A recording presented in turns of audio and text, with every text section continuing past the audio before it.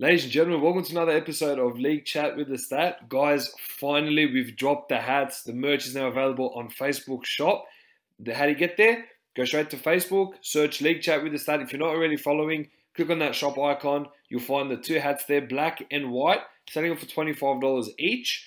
Uh, be part of history, guys. Get onto it. We finally dropped it, which is exciting. Thank you for joining me on another great episode this week. I know there's been a lot of questions in regards to when I was going to be dropping those hats, but now we've, that we've dropped them, uh, they are now available to you. So very excited to be able to finally get that out for you guys. Just as a, and I really do appreciate your support uh, over the last year and a bit since we've started the podcast, guys. A crazy round 14 uh, that was just among us. Now I do have to say, it's made a lot of changes into the ladder as well as what's happened um, in regards to a lot of the results that went down this week. Let's get straight into it. We have a new leader. The Storm are now outright first uh, 24 points. They're still tying with Panthers on 24 as well. Uh, the for and against is just a touch better. Um, third and fourth, uh, Eels are both, and Rabbitohs 22 points each. Uh, fifth is Roosters on 20. Six um, is Sea Eagles with that win um, over the Cowboys, who are seventh on 14, and the Dragons sit eighth on 12 points. Um, still on 12 points are 9th, 10th, 11th with Sharks, Raiders, and Warriors. Uh, Titans, Tigers, and Knights sit on 10 points each. Uh, and the Broncos and the Dogs sit on six points. Now, guys, let me tell you what's crazy about this, right? So you've got Storm, who are now topping the Panthers, who have now suffered back to back losses. You've got Eels and the Rabbitohs tied third and fourth. There are four teams on 12, three teams on 10, and the two teams on six, Broncos and Bulldogs. But the crazy part about the Broncos and the Bulldogs is the fact that our for and against is obviously hopeless, but so is theirs. So they have put on 232 points, but conceded 436. We've put on only 162 points, but conceded 366. And the for and against differential is the exact same on minus 204 points. That's pretty crazy. Considering the fact that now, if Broncos lose heavily and Bulldogs lose not as heavily for the next couple of weeks before Broncos head on to their bye, we won't be last anymore. That's pretty exciting, and I'll take that. Uh, it's about time. I'm sick of looking at the Bulldogs being at the bottom. Um, but look, it is what it is. But I just thought that was the most interesting things from the ladder that I really wanted to get off my chest. All right, let's get straight into round 14. But before I do that, we've got to discuss State of Origin 1. And what a cracker game. New South Wales 50 defeating Queensland 6. That's one of the best performances I have ever seen from New South Wales.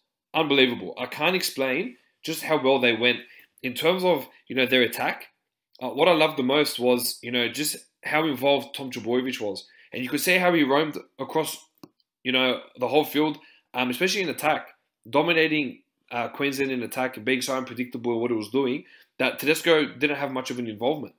And I loved that. I loved how he just ran in, took control, you know, scored that try, ended up finishing on a hat trick. You know, line break assist central, set up line break, set up tries. Um, that kick he put in for Latrell was great, mate. How good was Latrell? You know, if you look at all the, the players that were playing in Origin 1, you, you just, it's unbelievable, you know. You look at how the back five for New South Wales really stood up. Tedesco, again, just a, another great captain's knock. You know, you had Brian To'o on debut, two tries. You had Latrell, Trbojevic, just having a laugh in the back line. Um, you had Josh Addo-Carr, who was relatively quiet, but still got involved where he can. Uh, the halves dominated. Luai and Cleary were exceptional. Um, and our four pack surprisingly really took it up to Queensland. You know, and I was very shocked again by the result. It wasn't ex- a result that I was really expecting, um, but just to see the the talent that we have in our back line just really stood out for me. Now, Queensland, on the other hand, were really, really bad. 10 minutes in, they lost Christian Welch to a concussion. But there's one person that they were missing that they desperately need to get back, and that's Wayne Bennett anything that man touches turns to pure gold. And when you look at the side that he coached in 2020 uh, for Game Three, this was the team that beat New South Wales. By the way, I just I need to I need to just get make this right because Queensland actually beat New South Wales with an extremely, in a sense, depleted side. Let's remember the back line from last year. Corey Allen was at fullback. Edrick Lee and Valentine Holmes were the wingers. Brenko Lee and Dane Gagai were the centre pairing. Corey Allen has been very mediocre this year for the Bulldogs, if not been very, very below average. Edrick Lee hasn't played one first grade game this year due to suffering from that injury. Brenko Lee has been in and out of first grade and Queensland Cup due to calf and hamstring issues. And you look at the forward pack, you know, Jake Friend obviously gone into retirement, but they were missing Josh Papali'i, missing Lindsay Collins. This was a team that was very depleted last year that beat New South Wales. Yeah, we had a few injuries too. You know, we had obviously we had Gutho in the centres. We, we didn't have um, Tom Trbojevic. Um, in the halves, we had Cody Walker, Nathan Cleary. You know, we had Tyson Frizell as well, Dale Finucane, uh, Nathan Brown. You know, a lot of players that were missing from the game one for this year. But let me just make the point that in a depleted side last year, Queensland beat us. And this year, having a almost full strength side, obviously they were missing, you know, likes of Ponga. Um, they had Bibbs coming off the bench. Uh, they had they too had their injury concerns as well. But that was just so bad. And if Queensland could beat us with such a depleted side last year, you'd think with the uh, players that they get this year, they will do something a bit better than what they pulled up in Townsville. I've got to say, it's very disappointing. And I just can't believe the impact of one man on the side. As I said, anything he touches just turns to gold. And, and Paul Green, in the press conference and then the day after on NRL 360, he just looks so clueless. He doesn't know how to get his team out of this rut. And they've got Munster and Cherry Evans, who are the Australian halves. You know, they've got Ponga, who's a freak. They've got Brimson, who's an animal. You know, they've got these players that really Gagai, you got he was really quiet. Latrell really made him, uh, really exposed him uh, in that game, which was very very odd to have a quiet game from Dane Gagai. Coates was no good. Feldt was below average. Uh, only one or two of their forwards made over 100 meters. But yeah, New South Wales just dominated them in every facet. And look, I would love to see New South Wales go on and, and, and go on a clean sweep here, but I'm still very cautious of Queensland. I'm still very cautious with Queensland because game two at Suncorp Stadium is just going to be very, very tough. And they always aim up for those games at Suncorp. You know, the Queensland fans absolutely love it. And that's going to be a deciding factor. So look, we give credit to New South Wales. You know, Queensland will be on garbage. New South Wales need to just the, the players that are available just need to remain um, healthy and out of any potential injuries or suspensions. You know, to be considered for Origin two to keep that same squad together. Just one thing I want to discuss on top of this is when Cam Munster came out and warned Jarome Luai that you know Origin isn't the same as club football, and he was right. Except Jarome Luai absolutely destroyed him and that's what I loved. You know, he came out and he was just fantastic. You know, you look in the second half, that break he made, and then went through and then popped the ball to Latrell and then popped it onto You know, that break, you know, he fooled Cherry Evans, made him look like a goose. And it's just good to see, you know, these young kids, you know, like Jarome Luai and Brian To'o in their debuts come out and just, you know, the boys from Mount Druitt just come out and destroy. And I, it was really cool to watch. Um, but look, that, that's all I can say on that. New South Wales 50 defeating Queensland 6. I'm excited for game two. I don't think the scoreline will be the same as that, but let's just see what happens. Uh, Seagulls 50 defeated the Cowboys 18. Uh, the Cowboys got off to a very fast start, scored two tries in the opening 10 minutes, and then it just went downhill from there. You know, they really got off to that quick start because Martin Taupau in the first set dropped the ball, uh, which wasn't the start he was really looking for. And once they hit 10 0 or 12 0, I was like, oh no. You know, no, no Tom Trbojevic being rested from Origin two nights before. And then that's it. Something just clicked in the Seagulls. It was out 28-12 half time. And it was thinking, how? How did they get it so fluent? But everyone just was in sync. Everyone knew their role. I thought Reuben Garrick was just outstanding. I thought his performance was flawless. 21 runs, 324 metres, a try line break, and seven tackle breaks. You know, he was in everything. You know, that solo try he scored, like he's having a very, very good start um, in his fullback tenure. You know, he had a, had a shocking game a few weeks ago, but from that game he played, he was fantastic. I want to see that more from Reuben Garrick whenever he can fill in from Tom Trbojevic. But in the last maybe three weeks, Reuben Garrick has unlocked something in him that I hadn't really noticed or taken into account. He's very quick. If you guys can remember the game against the Eagles a few weeks back, mate, he was just lightning. And I don't know. I just thought that you know the way he played was just exceptional, and and he really led the charge uh, for the Eagles. You know their forwards got onto um, a great roll on. Yeah, and the Cowboys, yeah, just after that ten minutes, they just struggled. They had no answers. They couldn't fight back. Um, Tom Dearden really struggled in his first game for the club. Uh, I thought, you know, he's got a lot of work to do. Um, but yeah, look, the Cowboys were just not good enough, and the Seagulls just romped them. You know, Marty Taupau leading from the front once again 20 runs, 208 meters, 5 tackle breaks, 32 tackles in a 55 minute stint. Um, 35 minutes, Kurt DeLu, or Kurt De Luis, um, making his debut, 14 runs, 151 meters, 19 tackles on debut. You know, that's a very good debut, very solid uh, for a 35 minute stint as well in your first game. I thought it was a really impressive uh, performance from him. Um, but yeah, look, Seagulls proving that they are they have a bit of life without Tom Trbojevic, and hopefully they can keep it uh, rolling. I thought they can. I think they can get a bit more consistent with that. That'd be good. Um, very interesting though that the Cowboys were very depleted a couple of weeks back without some of their forwards. To get their forwards back and to lose fifty to eighteen, yeah, um, I, I don't really have an answer for you on that. I can be quite honest with you. Sharks nineteen defeated the Panthers eighteen. Uh, Sharks got off to a decent start, tale of two halves pretty much. Got out to an 18 0 lead. Um, but they only got out to that lead because of very poor defence in the middle. You know, Matt Moylan came out, ran that break, scored the try, um, and he was a real threat to that side. Shaun, Johnson played an unbelievable game as well. And then, but the Panthers halves really struggled. They've been struggling the last couple of weeks without Luai and Cleary, uh, just being able to guide around the park. I don't see Tyrone, P- uh, Tyrone May, sorry, not Tyrone Peachey, Tyrone May as a seven. The role he plays off the bench is very good for 20 minutes a game. He is not someone I'd be putting in my starting halves alongside Matt Burton. Matt Burton struggled in the first half.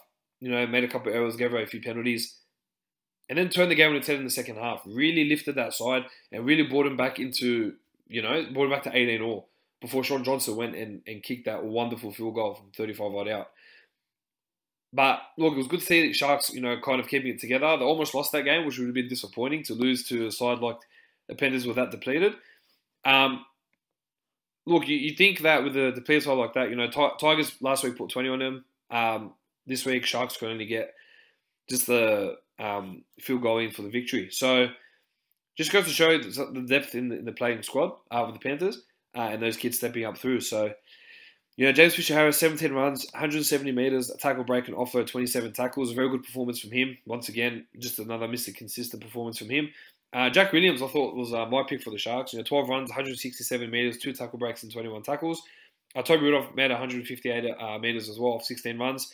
Um, both being really busy for their club uh, and getting the Sharks to two points, which was really important for them. Uh, Roosters 35 defeated the Titans 34. And look, I would not have expected this scoreline whatsoever. This is probably one of my one of the most entertaining games I've watched. Roosters jump out to a commanding lead at one point, 30 points to four. And then Titans, you know, Jamal Fogarty just really flipped the switch on that. He just something clicked in when he scored that try and in the closing stages of the first half. He was the one to bring their side back to where they were. And to get them back from 34 down, 30 points to 4 down to 34 war, one set to 34-30, leading the side, was a huge effort. You know, Ash Taylor made that half break, popped it into Fa'asuamaleaui. Uh, was a good effort as well. Um, they were just really unlucky to to concede that try in the corner. Uh, the try where Matt Ikuvalu scored on the short side, that really should have been stopped. Phillip Sami just kept watching him the whole time, watched the ball get over, and then didn't put in much of an effort to actually make that tackle. And it was a big problem there. You know, that was a game that the Titans really should have won when they got up to 34 30. They really should have closed them out. But Sam Walker, mate, this kid just again proving to be the difference maker you know, he came off the field at one point um, suffering from that shoulder injury that he's been carrying for the last six or so weeks. Um, he came off for it and then ended up coming back on the field and then kicked the winning field goal. Mate, again, he's 18 years old, doesn't have a lot of pressure on him to be performing at a tier level. You know, they're looking at him to just perform at his best, and he is just killing it. And he's been doing so well for the Roosters. Um, and, you know, when you look at the side like the Roosters, through everything they've been through, to still be sitting fifth on the ladder is really impressive. Um, so good on them. They held on. Um, Jared Waerea-Hargreaves now plays 250th game, another 80 minute performance, 21 runs, 221 meters, three tackle breaks, and offload 42 tackles. But the thing I was really impressed with was him defensively. You know, he in one set or within a couple of minutes of each other, he made two try saving tackles, especially the one on, on Jayden Campbell, which I thought was just unbelievable. Just his, his commitment to defense and his commitment in attack. You know what he's really bringing to the Roosters is, especially in a time where he needs to step up. You know, with um, Jake Friend retiring um, and Boyd Cordner obviously retiring as well. A lot of experience. in Brett Morris, you know, these guys no longer at the club. He's really stood up and he's really been a dominant force, uh, which has been so good to see. Another great performance from Jarrod Wallace from the Titans. He, has been having a cracker year. Uh, 17 runs, 151 metres, a line break assist, a try assist, six tackle breaks, five offloads, and 17 tackles. Very, very busy. I don't know what he's done, but he's, he's done a lot of tweaking to his game, Jarrod Wallace, and you're really starting to see just how good he's been. And you start to see all year just how important he's been to the Titans side. You know, the side where they've got, you know, Dave, uh, Dave Fifita, Tino Fa'asuamaleaui, Moeaki Fotuaika, you know, he's been so good and starting to bring back the form that really had him uh, in contention and, and, playing well for Queensland. Um, personally, I think he should have been there instead of Joe Ofahengaue. Um, but that look wasn't meant to be. But you know, he's doing his part for his club. And as I said, Titans again shouldn't have been out losing 30 points to four, but to come back to 34-30 is pretty impressive. But just didn't do enough to hold on. the Rabbitohs 24 defeating the Newcastle Knights 10. Um, look, not bad from the Bunnies pretty okay. Uh, you got to consider that you know Damien Cook was being rested, um, Cameron Murray was being rested, Jai Arrow was being rested, um, Jaydn Su'A and Latrell backed up. Um, and look, they, they just did enough to get past the Knights, you know, who have obviously been missing a lot of cavalry in the, in the last few weeks. Losing Bradman Best again to another injury. This poor bloke can't catch a break. Um, made it really hard for the Knights. And, you know, you just look at how the Bunnies are performing. You know, you had Benjamin Marshall coming in at nine. Um, you had obviously Walker doing his part at six, but Alex Johnston, another hat trick. You know, he scored what 126 tries so far. You know, it's he's just reaching phenomenal heights in his try scoring ability. You know, the first two tries were pretty easy, but that third try where he's kind of his whole body was out and then put it in in the corner. I don't know. I kind of love that. I just watched that and I could watch it over and over and over again. Unbelievable from him. Again with the Knights, They've won five of their last 13.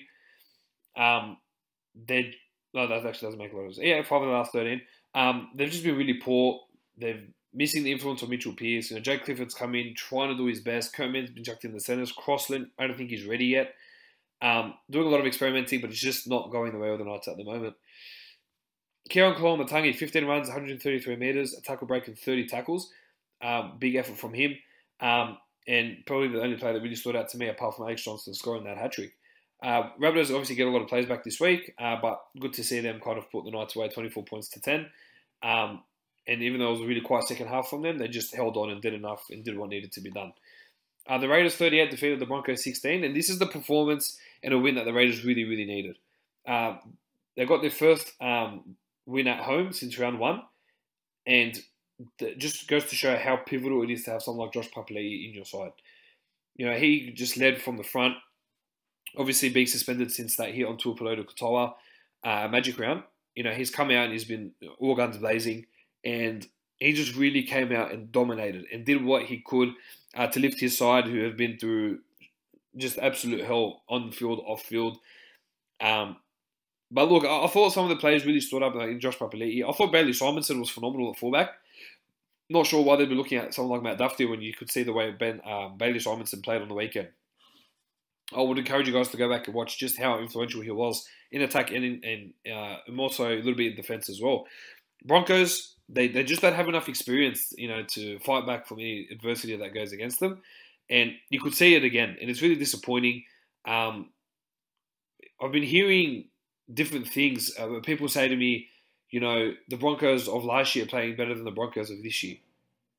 And we all know how bad Brisbane were last year. And people are saying the coaching style of Kevin Walters needs to change. Something needs to be done. And, and that's where Broncos are feeling at the moment. I can understand where they're coming from. You know, they are sitting second last. Most of the year they were sitting last. Um, and they're just not winning games. And they're not, they're just not being able to hold on you know, they'll, they'll get they'll play a game where they play a good 75 minutes and then buckle the last five. In a game like this, where I believe it was genuinely winnable, considering how poor the Raiders have been um, with a lot of their dramas on field and off field, it's very poor. But again, if you're not going to have a consistent spine, of course, it's going to have problems like this. Karmichael Hunt played his first game in over 4,000 days since uh, 2009, so it's been about 12 years. Very rusty. And uh, you don't blame the guy. He hasn't played the game in 12 years. And by the game, I mean playing first grade. And look, you can't really expect much from him to come in and create wonders. The guy's 34, almost 35.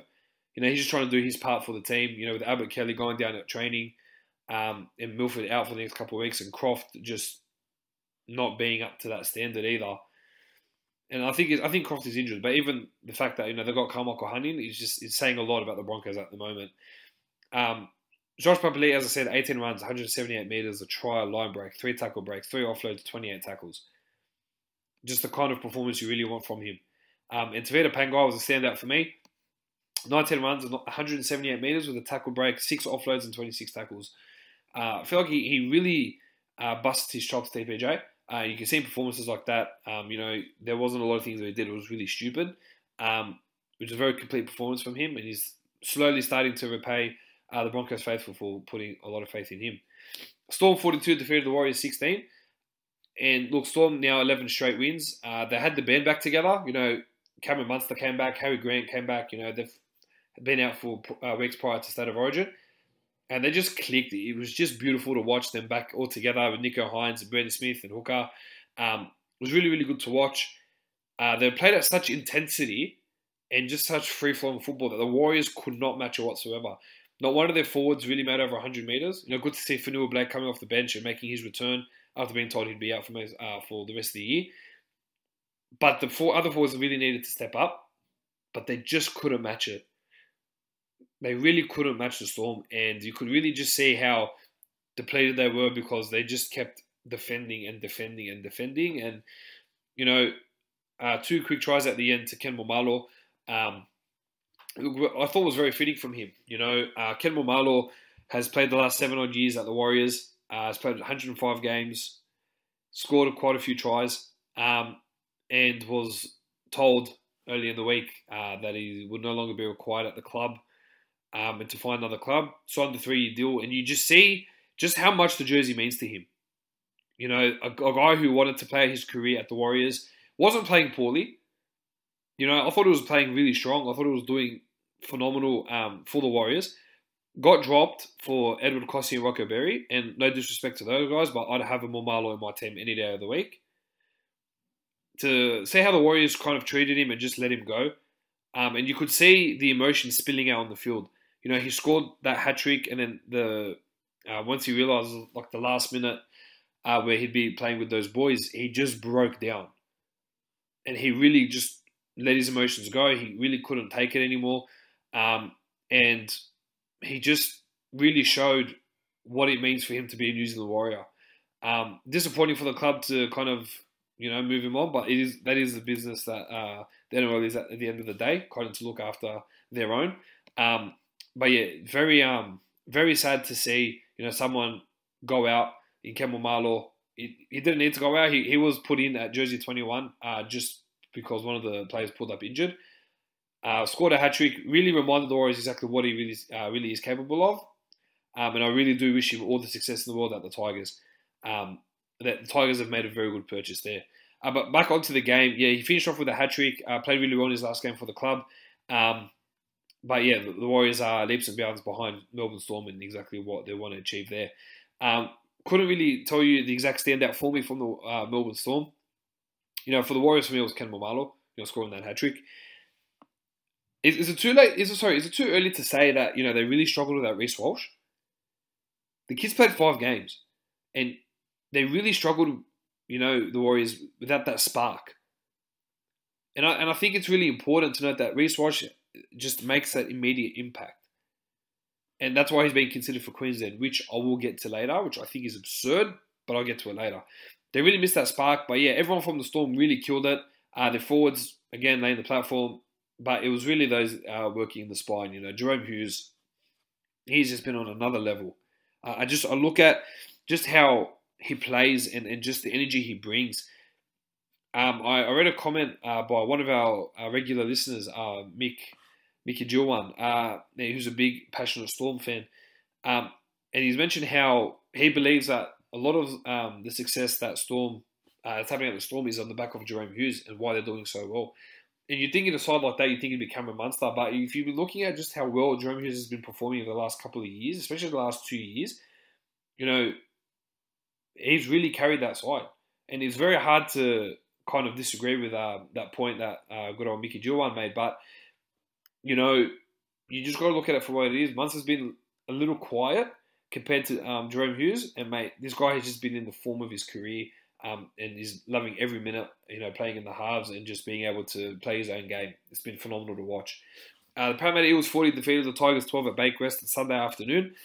Uh, a bit of a slow start for the Eels. Um, not kind of the start they were looking for, uh, but once they clicked into gear, um, and it really took off for them. But it kind of took off really in that second half. You know, the opening 10 minutes where Tigers were down a player uh, due to a bin, they ran in three tries in six minutes, and that just really blew the Tigers off the park. Um, I thought the Tigers were in it in the first half. They weren't playing great football, but they were just blocking a lot of opportunities that Eels were trying to, um, you know, they were trying to get in. Uh, but Tigers again, it's, it's, more of you know taking that one step forward and then taking another couple of steps back. You, you can see, you know, for a quality side like the Eels and just how far back the Tigers are from the Eels, it's very disappointing to watch. Um, and the Tigers really need to strive to do better. Um, you know, with what they've got, forty to twelve is not good, especially after the two performances they put on back to back. Um, they haven't won through on the trot since 2017 or 2016 and it's really poor from the Tigers. You know, for the Tigers faithful, I know that many that are going for the Tigers that just sit there and say when we're going to be better again, when are we going to be good. You know, with a lot of players leaving at the end of the year, gives them opportunity to go out and buy more talent. Um, and they really need to rebuild and, and put their money into proper players to really build that squad to start seeing them back in finals contention. Nathan Brown was a standout for me 19 runs, 159 metres, line break assist, a try assist, a tackle break, 12 loads, 29 tackles. Nathan Brown played a phenomenal game. He set up two tries in this game, and I just thought, mate, this is just unbelievable to watch. I'd love someone like Nathan Brown in my team. I'd absolutely love, you know, everyone he runs like his last. His offload he's creative, you know, he's, he's becoming a really creative forward that I love watching play, um, and one that I would absolutely love to have in my side. And uh, the Queen's birthday, Bulldogs 28 defeating the Saints 6. Listen, I'm quite in a bit of shock. We played very good. I can't believe it. You know, it was a very complete performance by us. You know, we made four errors all game. I, I want you to just think about this as I talk. We made four errors all game. We usually make four errors in 10 minutes. We made four errors all game. You know, our forwards really stood up to the Dragons forward pack, who have a very, very good forward pack. And we completed 94%. We completed 44 out of 47 sets. This looked like a whole different side to me. You know, Jake Averillo really clicked into gear. Um, and he really played a dominant game. You know, at halfback really showed what he is, uh, what he's capable of in, in terms of uh, his running game. You know, there's two tries. You know, he obviously that one he scored, we threw that massive dummy, and, and de Belin missed him, um, which was very smart to target de Belin, who's still trying to find his feet uh, coming off the bench. Um, but look, the Dragons just sucked. They were so bad. Yeah, they made 12 errors. They missed another 30 odd tackles. They've been averaging 33 missed tackles a game. Something ridiculous. Um, either I could be wrong or they've been averaging 30 points against them again, one or the other. Uh, but still, uh, not very good defensive stats regardless. Um, but, you know, you can't take anything from the Bulldogs. You know, they, they played a complete performance. You know, Adam Elliott played very well. I thought he stood up um, and really dominated. Uh, but the Dragons, it's just defensively, they were so soft. You know, Adam Elliott scored this try where there was like five people on his back when he went and scored. Like you look at it, you think this is like under eight stuff. Or when uh, Jeremy Marshall King, you know, threw that massive dummy went uh, untouched under the posts. Or even that one where you know Jake Averillo when he made that break, gave it to Meaney, Meaney put it back into Averillo. Where Averillo came and he threw another dummy, he threw a dummy to no one and Duffy fell for it, like com- completely fell for it. There were three Dragons players in front and, and Cotric was behind. Um, in this game, I, I paid attention as to why there, were, there was so much pressure on you know Matt Duffy and why he wasn't being re-signed. And I can understand why Griffin is wanting to get rid of him. He was very poor defensively, Matt Duffy. And last week I came on here and I defended him, and I said, "Nah, he's got to be in your side." And I still think he has that attacking ability to be in your side, but he really needs to improve in his defense. you know, this is a very embarrassing scoreline for the Dragons. Five weeks ago, they beat us 24 16. You know, they really played a lot better than what they've dished out here. Um, and yeah, Bulldogs get a second win of the season. Um, takes not that much pressure off him. You know, if we can go back to back and beat Para, oh, dream come true. Believe me, dream come true. Um, but look, you know, Luke Thompson, 20 runs, 167 metres, tackle break, 32 tackles, uh, becoming one of my favourite Bulldogs players right now. I love watching him play. Love the intent he brings with everyone he takes. It's beautiful to watch. Uh, let's go to news around the NRL world. Um, great news to start off with, uh, can I, might I add. Um, the Warriors announced that they're going to take their round 22 game against the Bulldogs to New Zealand at Mount Smart Stadium, which is really exciting um, and really good for uh, the Warriors to go play at home. Uh, it would be a farewell game for Roger Tuivasa-Sheck, who may potentially play his last game there. Uh, if things don't get better, you know, um, with the bubble, um, with the travel bubble being lifted at the moment between Australia and New Zealand. On the Warriors, Bunty Afoa raced on to the Warriors to the end of 2023. Would have loved him at the Bulldogs, just with how good he is, or how good of a forward he is. Um, but great on the Warriors to keep him there at the club. Storm signed Tepai Moeroa to the end of the season. Very good signing. Um, an interesting one. You know, Tepai Moeroa got released uh, from the Waratahs um, and is now camping out with Melbourne at the Sunshine Coast. Um, Eagles and the Seagulls have um, lodged uh, some interest in signing Aaron Woods. Um, Aaron Woods actually offered himself to the Sharks for 180,000, and Fitzgibbon said, "Look, mate, we just want to go in a different direction," which was respected, and now is being sought after by Eagles and, and the Sea Eagles uh, as a decent depth signing.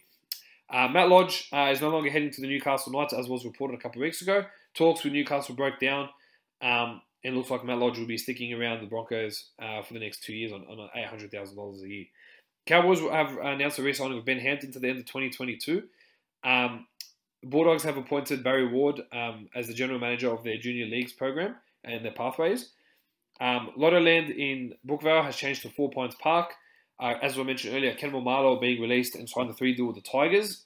Very good signing. I back it. Um, and I really hope he plays some wonderful football there and brings some success to the club. Um, bit of an odd rumour. Tigers are considering signing Mitchell Pearce for next year. Um, when rumours like this go around, it just shows the kind of pressure that's currently on um, Luke Brooks. And it's really sad to see just, you know, Brooks is playing, you know, some very, very below average football, um, and he's just not working out for him. So to be linked to a guy like Mitchell Pearce, who's in the back end of his career, must be really embarrassing for someone like Luke Brooks to kind of take in. Uh, Storm have been rating the Bulldogs in terms of their talent. Who would have thought? Um, but they're really interested in signing Nick Meaney. Uh, as far as I'm concerned, the Bulldogs aren't really looking to keep him on, which I think is disappointing. I think he's been very good for us, you know, with the opportunities he's had with us for the last couple of years. But looks like Brad's going to a different direction, and Craig Bellamy wants to kind of bring him into the side and, and give him a role similar to what Nicho Hynes is currently um, bringing to them at the moment. Uh, Nathan Brown has confirmed that the Warriors are very keen to sign Dallin Watene-Zelezniak. Now, talks have been ramping up. The Warriors want the Bulldogs to chip in four to four hundred fifty thousand um, dollars for the remainder of this year and next year for his contract. Uh, talks are still uh, happening at the moment, and not sure why you'd get rid of someone like Maumalo to bring in DWZ, uh, but that's what the Warriors are trying to do.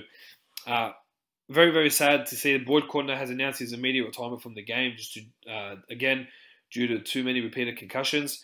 Um, he was someone I loved watching play.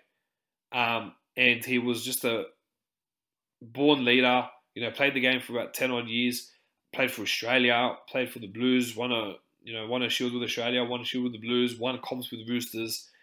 Uh, really, really sad to see, you know, being the third Rooster this year to having to announce his uh, retirement immediately, and the second one due to concussion. Really sad to see. Um, Boyd, mate, all the best uh, in retirement. You know, just looking at all the posts uh, from ex teammates and players that they've played alongside, and even players that they've you know admired from afar. Um, just goes to show, you know, what a genuine bloke you are, what a champion bloke you would have been able to play with, and, and what an honour it would have been to uh, be alongside you. So, mate, all the best in retirement. Now, good luck to what the future holds. Josh Curran is re-signed with the Warriors to the end of 2023. Um, Gareth Widdop has been linked to the Canberra Raiders now that George Williams is looking to go over to Warrington, uh, which would be an interesting signing. Corey Norman was told that he would be no longer required at the Saints. Um, he's come out and responded that he understands. Uh, there's got some good kids coming through the ranks that you know he understands that you know it's business. Um, believe that Super League are currently looking at some options there. Uh, the Warriors are looking to make some signings in the halves, but have confirmed that they are not after Matt Duffy, Corey Norman, uh, but they are looking at trying to sign Gareth Widdop. But due to Gareth Widdop having some issues um, and wanting to go to Australia for personal reasons, I believe he'll be most likely landing at the Canberra Raiders. Um, and the last bit of news, Victor Radley has been investigated for getting kicked off a flight on Saturday. Now, I had a source uh, give me a call uh, just before we jumped on and, and told me a little bit about Victor Radley. Now, um, Radley was seen obviously on Saturday, probably after he got kicked off the flight, uh, headed back at the CAS um, with quite a bit to drink. Um, it, not that there's anything wrong, you know, with you know having a drink and, and having a laugh in, in terms of a um, in a societal uh, perspective, but you know, for him to have to get kicked off a flight, um, the Roosters officials were saying that he had been um, a little bit loud on the flight in terms of just laughing a lot. Um, I'm not sure if you get kicked off a flight, you know, just by laughing a lot. Just my personal opinion. Um, but look, uh, the NRL Integrity Unit is aware of what's going on. Uh, when he was kicked off the flight, however, I've been told um, that he didn't cause any issues. He wasn't disrespectful. He wasn't abusive to anyone. He was asked to get off the flight, and he did. So, like I said, he's being looked at um, just to see what's going on and and seeing how the NRL handle this one would uh, be very interesting. Um, now, let's go into all talking points for round 15. The Broncos come up against the Rabbitohs on Thursday night.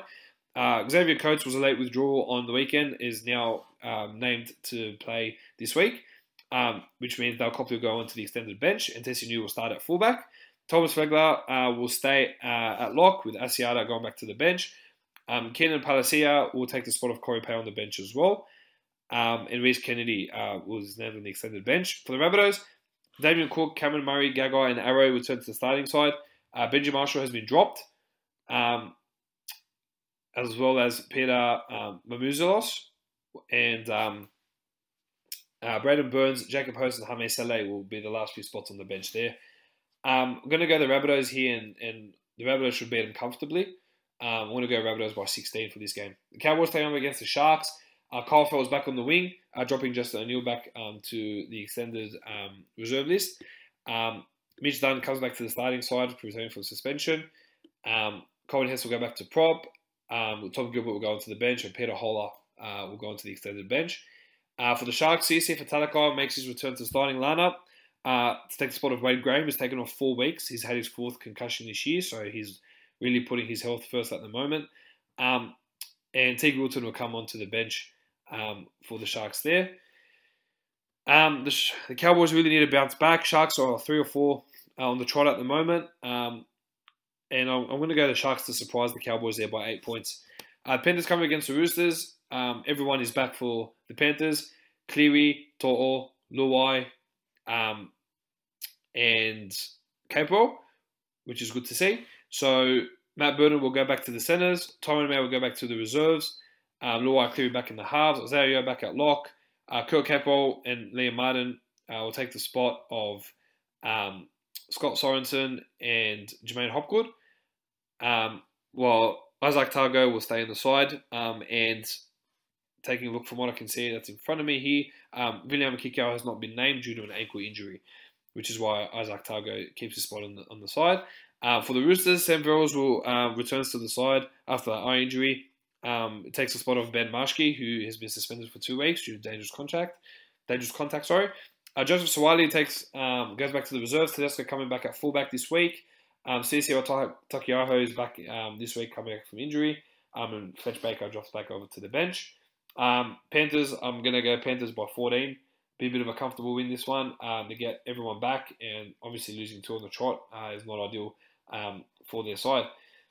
Now, the Knights will be taking on the Warriors. Um, the Knights get Mitch Pearce back, taking the spot of Phoenix Crossland in the halves. Kalyn Ponga um, takes the spot of Tex Hoy. Hymel Hunt comes in for Bradman Best uh, on the wing with Enari Tuala going into the centres. And Dave Klemmer coming off the bench. Um, looks like um, the Saifiti twins will stay starting in the side. Reece Walsh uh, for the Warriors comes back from suspension with Tuivasa going onto the wing, with Marcelo Montoya onto the other wing, um, and Rocco Berry in the centres, with Ken Maumalo obviously not there due to him being at the Tigers. Um, Sean O'Sullivan takes the spot of Shino Harris who is out for the year with a torn pec. Um, Tevaga takes the spot of Wayde Egan, who copped a sickening headlock um, on the weekend. And Adam Blake will start back at prop with Armel going to the bench. And um, Eliesa Katoa takes the spot of Jack Murchie um, on the bench there as well. A lot of changes for both these sides. Um, I'm looking at a Knights win, getting Pearce, Ponga, Hunt, and Klemmer back. Uh, I think is very valuable for the Knights. Um, and I think they'll, they'll get the job done by 12 points. Uh, Dragons come up against the Raiders. Both sides named 1 to 17. Um, and Zach Lomax has been named on an extended bench uh, for the Saints. Um, I think the Dragons will bounce back in this one, um, and they'll do it by about 12 points in this game. Uh, the Storm come up against the Tigers. Uh, Nelson Asofa-Solomona and Christian Welch will take, uh, come back into the side this week. Tui Kamikamica will go back to the bench, uh, while George Jennings comes back on the wing, and um, Trent Loiero drops off the bench onto the extended bench there. For the Tigers, Ken Maumalo will make his Tigers debut on the wing, uh, which will push James Roberts to the centres with Adam Doueihi he's suspended, um, and Moses Mbye is back in the side to replace Billy Walters, uh, come back from that knee injury. Um, yeah, going to go Storm here by 24 points. Um, I'm going to be very comfortable to get a few more props back into the side, um, and we should see a whitewash um, in this game. I don't see it getting any better for the Tigers. Uh, the Eels come up against the Bulldogs for your Sunday afternoon footy. Um, for the Eels, uh, Sivo has been suspended this week, um, naming 19-year-old debutant Sean Russell on the wing. Um, and Keegan Hipgrave comes into the starting side, uh, sorry, to the, the bench, uh, with Bryce Cartwright dropping over to the reserves. And the Doggies staying 1 to 17 with that win over the Dragons. Um, yeah, look, it's at Bankwest. I know. I still think you know, we have a chance to be better than we did when we versed them last time. So I'm going to put my money on Matthews. We're going to stick by the Bulldogs. Love, I absolutely love a win against Parramatta. If we can beat Parramatta, oh, it'll just top off the year for me. I'll be very happy. Um, so I'm going to go Dogs by six for this game. Uh, last game of the round, Titans versus Eagles. Moeaki Fotuaika comes back into prop with Jaimin Jolliffe moving back to the bench. Kevin Proctor has been suspended, so Fifita and Fast Albi will come back at second row and lock respectively. Um, now for the Seagulls, uh, Tom Trbojevic is back at fullback, pushing Garrick over to the wing, um, Brad Parker to the centres, um, and Moses Suli uh, back onto the reserves. Um, and Sean Keppie returns from suspension with Kurt De Luis um, back in the reserves. Uh, I'm going to go a bit of a shock here. Um, and I'm going to go the Titans. I know that Trbojevic comes back, uh, but I think the way Titans played um, on Saturday and, and, not being able to win that game would have been really unfortunate. Um, but I reckon they can bounce back and be, should be able to beat the Seagulls and do it by about four to six points. Guys, thanks for joining me again another episode of League Chat with the Stat. Hats are dropped, so make sure you go get a hat for yourself, be part of history on League Chat with the Stat. As a, again, guys, share the page, like, comment, subscribe. Anything you want us to add, let us know. You want to jump on a guest, please hit me up. Uh, send me a message um, through Instagram or Facebook, and we can definitely take a time and get you on the podcast with me. Guys, thank you again for your support. You guys take it easy. Enjoy round 15 um, and up the Mighty Bulldogs. See you guys. Take care.